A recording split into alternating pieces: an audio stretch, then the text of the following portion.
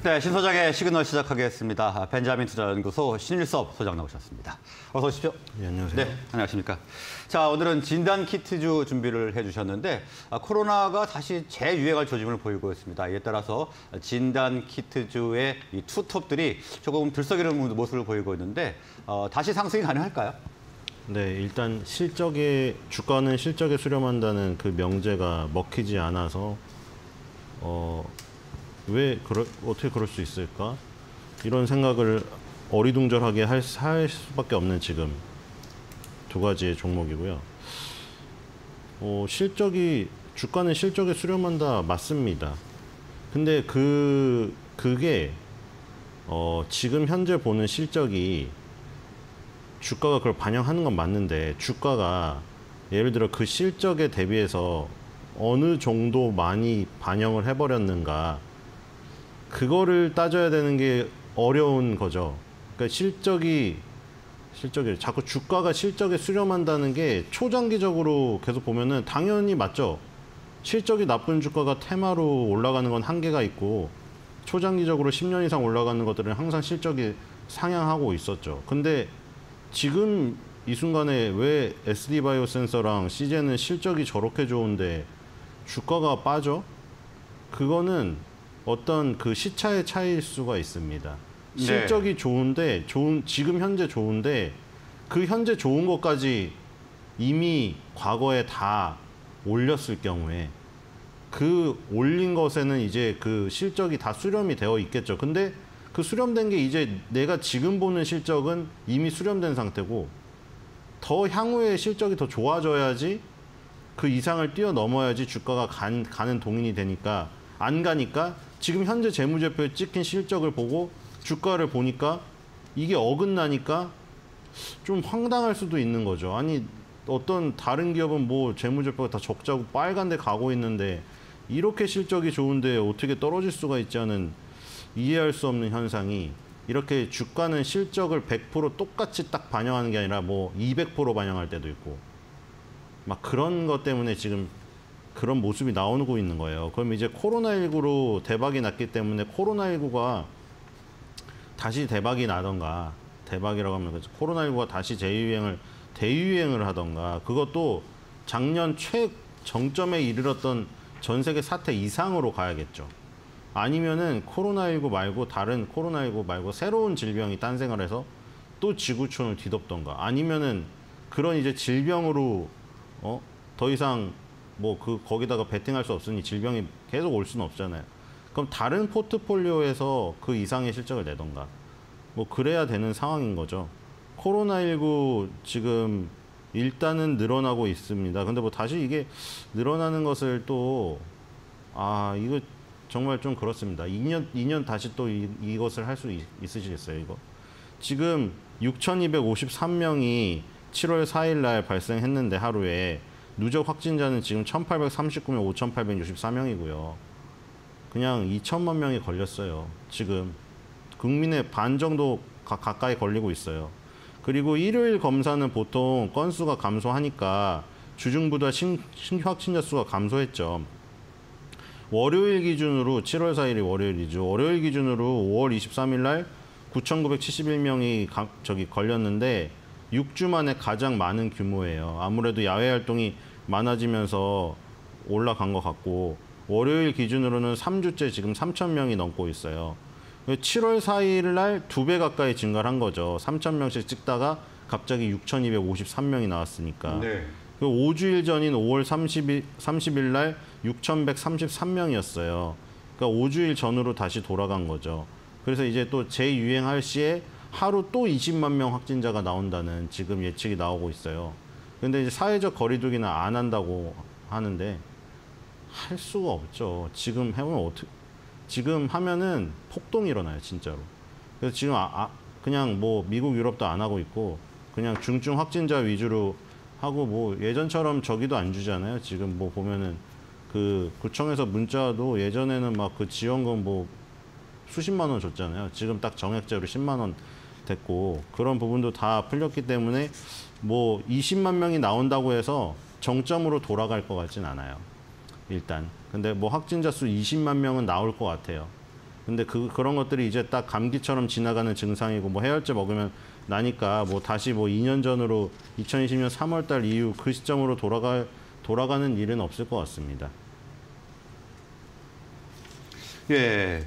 자, 그러면 지금 진단키트 업체 중에 아, 투톱인 CGN과 SD 바이오센서 지금 움직임 좀 어떤지 좀 살펴볼까요? 네, 일단은 이 두 개가 이제 체외 진단 기업입니다.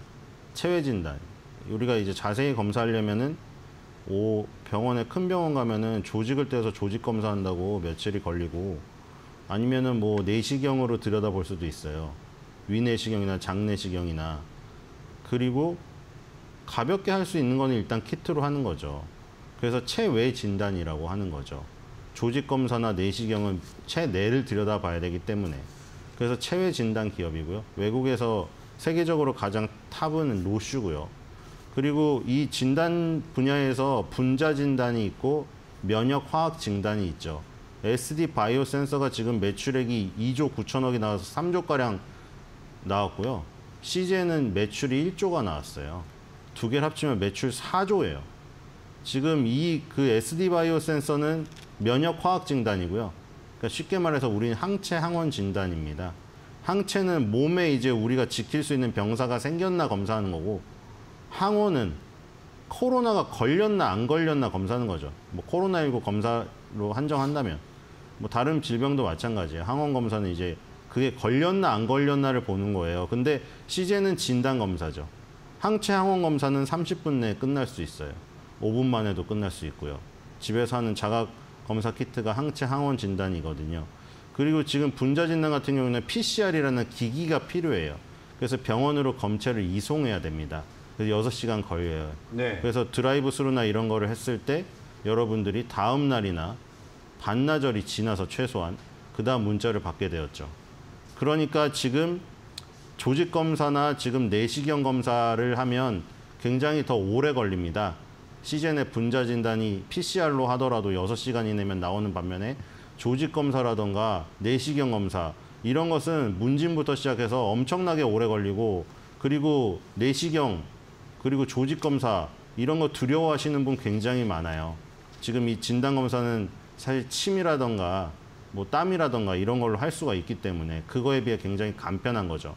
그리고 이런 시장이 커지게 된 거는 코로나19 때문만이 아니라 이 시장이 원래 예방의학으로 가면서 커진 거예요.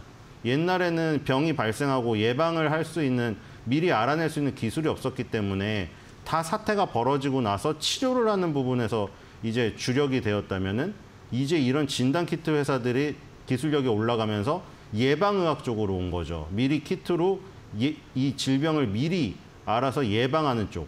예방의학이 커지니까 진단 키트 시장이 커진 거고 그 중에서 이제 면역 화학 진단하고 분자 진단으로 크게 나눠지는데 SD 바이오 센서는 분자 진단이 아니라 면역 화학 진단 쪽인 거죠. PCR 검사를 하- 주로 주로 하는 분자 진단 쪽은 시젠인 겁니다. 그리고 결정적인 차이는 또 SD 바이오 센서는 수출 비중이 절대적으로 많아요. 제일 많을 때 90% 이상이었습니다. 그리고 시젠 같은 경우에는 반반이고요. 그래서 지금 SD 바이오 센서가 그 후반부에 더 열을 올렸던 거죠. 왜냐하면 확진자 수가 폭증을 하다 보니 PCR 검사에 여력이 안 되기 시작했어요. 어느 순간부터. 병원에 검체를 보내가지고 6시간을 소비를 해야 되는데 그게 처음에 몇 명 나오고 동선까지 막 그 뉴스에 공개하고 이럴 때는 문제가 없었는데 나중에 막 드라이브 스루 생겼는데 드라이브 스루 차량 막고 이제 더 이상 들어오지 마세요 해서 뭐다 오후에 와야 되고 오후에 왔더니 또 이제 밀려가지고 다음날 와야 되고 이런 사태가 발생되다 보니까 빨리 검사할 수가 없느냐. 근데 거기서 또 민감도 문제가 발생한 거예요. SD 바이오 센서의 항체 항원 검사 아무리 높다고 하지만 분자 진단처럼 정확하지 않고 항체 항원으로 한 다음에 또 분자 진단으로 했었어야 되잖아요. 초기에는 확정 판정을 받으려면은 그래서 이제 오래 걸렸는데 나중에 이제 확진자 수가 너무 폭증하다 보니까 처음에 뭐 몇천 명 나올 때마다 그렇게 갈지 몰랐죠. 나중에 수십만 명이 하루에 나오다 보니 이 PCR 검사를 돌릴 여력이 없는 거 다 밀려가지고 그러다 보니까 이제 항체항원 검사를 인정해달라. 그래서 항체항원 검사의 민감도도 올라가고 정확도도 올라가면서 이 SD 바이오 센서가 굉장히 열을 올리기 시작했죠. 그래서 SD 바이오 센서가 이제 매출 3조 원 가까이 올리고 송중기 씨도 모델로 쓰고 주시장에 데뷔하게 된 거죠. CJ는 1900, 2019년에 1220억 원이었습니다. 매출액이. 2021년에 매출액이 1조 3708억 원이 나왔어요. 2년 만에 매출액이 10배가 됐습니다. 10배네요, 10배. 지금 이런 상황은 기본적인 질병의 진단 키트 시장이 아까 말한 대로 치료의학에서 예방의학으로 넘어왔다고 해도 2년 만에 이런 급, 급격한 성장은 이루어질 수가 없어요. 아무리 뭐 내시경 검사를 멀리하고 진단 키트로 예방을 먼저 한다고 해도 그 환자들이 갑자기 느닷없이 뭔 당뇨병이며 위장병 환자가 느닷없이 그렇게 확증, 확정될 리가 없잖아요. 근데 이거는 코로나19의 도움을 받았죠. 치료의학에서 예방의학으로 넘어오는 거는 장기적인 어떤 그 도움이 되는 배경이고 이건 완전 완전 단기적으로 특정한 치명적인 질병이 나타났기 때문이죠. 영업이익은 2019년에 224억 원이었는데 2021년에 6,667억 원이 됐습니다. 매출액이 10배가 늘었는데 영업이익은 30배가 늘었어요. 그러니까 완전 뭐 시즌이 뭐 예방의학 쪽에서 어떤 선두주자로 나서고 있었던 건 맞는데 이렇게 다이나믹하게 성장한 것은 코로나19가 결정적인 역할을 했다고 볼 수가 있겠죠. 그리고 최근에 원숭이 두창이 또 갑자기 또 떠올랐죠. 네. 근데 이거는 사실 원숭이 두창은 지금 뭐 이렇게 뭐 코로나19로 뭐 그 100%라는 건 없지만 코로나19로 막 그렇게 그런 식으로 퍼지기는 어려운 겁니다. 아, 그러니까 퍼지기가 어렵다는 게 아니라 만약에 퍼지더라도 지금 당장 수익을 낼 수가 없어요. 왜냐하면 이거를 개발해도 지금 우리나라 환자 딱 한 명 나왔습니다. 그때 인천공항에서 그 두 명의 의심 환자와 그 접촉자 40몇 명인가 검사를 했는데 최종 확정 판정 받은 게 딱 한 명밖에 없어요. 근데 진단 키트도 마찬가지예요. 키트라고 해서 무슨 임상이 없고 바로 되는 게 아니고 신약처럼 임상을 해야 되는데 환자가 없습니다. 검체가 없고 그 한 명밖에 없어요. 유일하게. 지금 1시간 30분 만에 원숭이 두 창을 잡아내는 노바플렉스 MPXV assay를 개발을 완료했는데 문제는 원숭이 두창 연구용으로밖에 쓸 수가 없어요. 이거는 키트를 상업화해서 돈을 벌려면 검체를 여러 개 확보한 다음에 임상 시험을 거쳐가지고 식약처에서 허가를 받아야 됩니다. 근데 국내 환자 한 명이죠. 그럼 이거 찾으려고 지금 아프리카로 떠나야 돼요.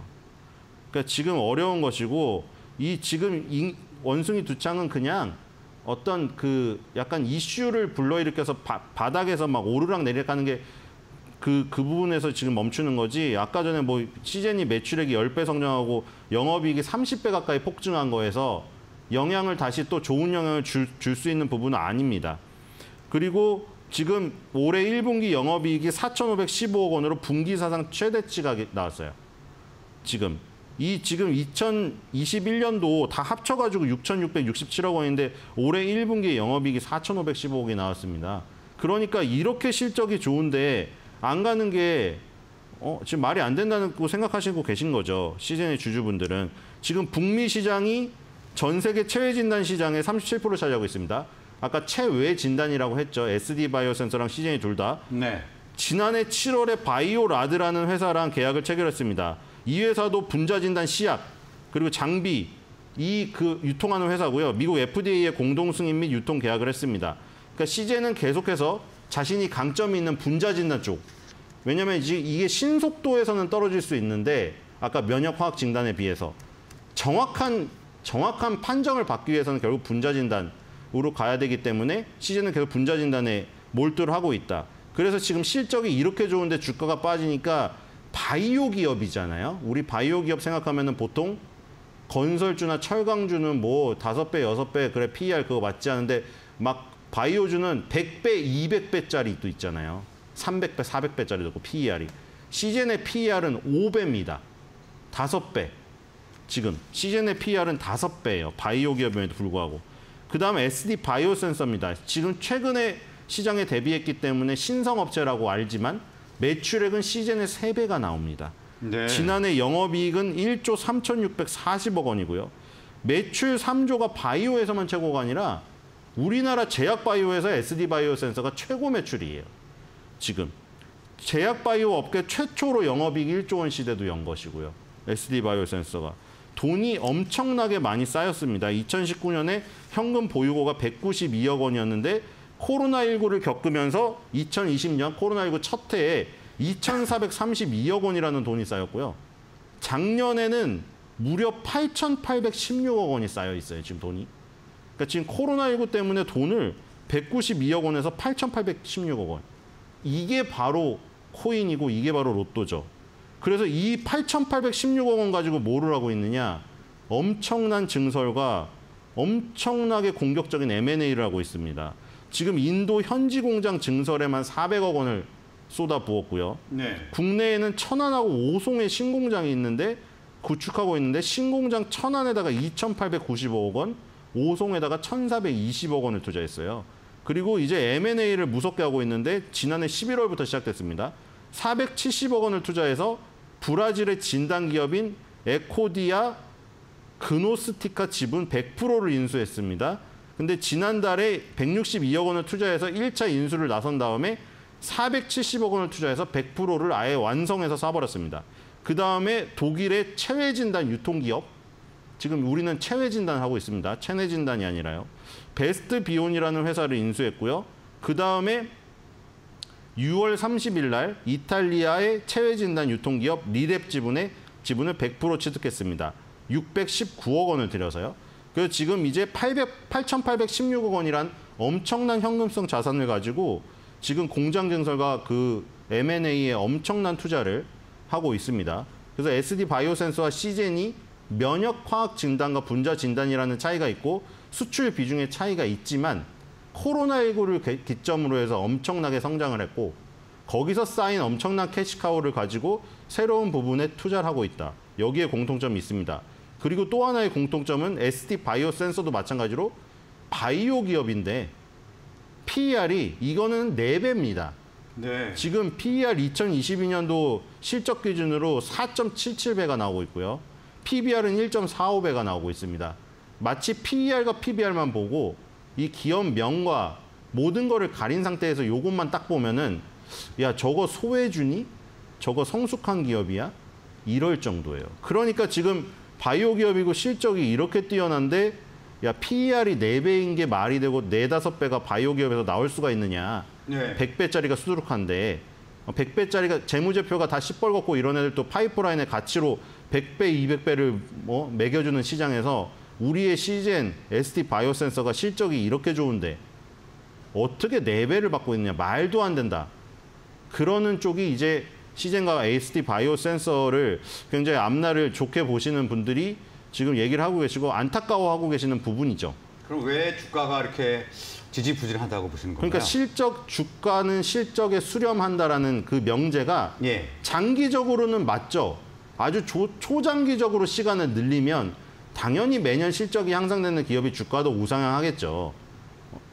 당연히. 네. 근데 문제는 이 코로나19라는 어떤 특수한 부분. 아까 봤듯이 이 예방의학으로 이 전환된 부분에서 당연히 SD 바이오 센서나 시젠 같은 진단 기업의 중요도는 올라갈 수밖에 없어요. 앞으로도 계속. 왜냐하면 네. 치료 시장으로 넘어가면 타격이 출혈이 커요. 환자도 그렇고 병원도 그렇고 국가나 사회에도 똑같아요. 예방을 해서 초기에 잘라내거나 미리 예방을 하면 훨씬 더 사회적 비용이 절감되는 거죠. 환자 입장에서도 그렇고. 그 커가는 건 사실인데 문제는 이 그 속도, 그 예방 이야기 커가는 속도가 있는데 그 속도에 비해서 굉장히 블랙스완급으로 지금 코로나19라는 질병이 들어오면서 순식간에 2, 3년 만에 현금성 자산과 매출의 영업이익이 폭증을 한 상태이기 때문에 그런 부분이 계속 20년 동안 이 2년, 3년에 어떤 뜨거웠던 부분이 계속 시, 열, 10년의 10배의 기간에 계속 유지가 될 수 있겠느냐. 그러니까 그 2, 3년의 기간에 엄청난 지금 주가의 상승이 나왔는데 그 향후 20년 동안 그 10배의 기간을 했을 때 똑같이 나올 수 있겠느냐에 대한 그 부분에서 지금 주가가 작동을 안 하고 있는 것이죠. 네. 그러니까 아까 말한 대로 코로나19의 어떤 정점을 뛰어넘는 치명적인 질병이 등장을 하거나 뭐 아니면은 또 그 어떤 우리가 모르는 변수가 등장을 하지 않는 이상 지금 이렇게 코로나19로 완전 정점을 찍었던 부분까지 가려면은 지금 단기적으로는 좀 어렵지 않을까 이런 생각이 듭니다. 네. 그럼에도 불구하고 지금 제약바이오 업계를 통틀어서 매출 3조와 영업이익 1조를 최초로 달성한 SD 바이오센서 이 진단 기업의 탑의 지금 이 상황을 보면은 우리나라 진단 기업의 기술력 은 인정을 해, 해야 될 것 같습니다. 그래서 SD 바이오 센서나 이 시젠을 좋아하시는 분들은 지금 일단 조금 차분하게 코로나19의 어떤 그 특수성을 감안하셔가지고 네. 주가가 조금 또 조금 이제 자리를 잡는 과정이 필요하거든요. 좀 그런 여유를 가지셨으면 좋겠어요. 네. 그 시간을 좀 더 장기적으로 넓, 넓혀서 넓혀서 초장기적으로 계단식으로 상승하는 모습을 그리면서 지금 산과 고를 만든 것에 너무 안타까워하지 않으셨으면 좋을 것 같습니다. 네, 알겠습니다. 오늘은 시젠과 SD 바이오 센서 알아봤는데요. 아, 장기적인 관점에서 바라보자 이렇게 정리를 해보도록 하겠습니다. 자, 오늘 말씀 여기서 마무리하겠습니다. 고맙습니다.